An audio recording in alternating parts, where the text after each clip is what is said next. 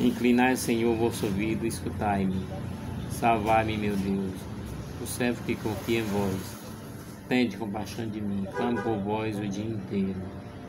Ó Deus, que unis o coração dos vossos fiéis no só desejo, dai ao vosso povo amar o que ordenais, esperar o que prometeis, para que na estabilidade deste mundo fixemos nossos corações onde se encontram as verdadeiras alegrias. Por nosso Jesus Cristo, vosso Filho, na unidade do Espírito Santo.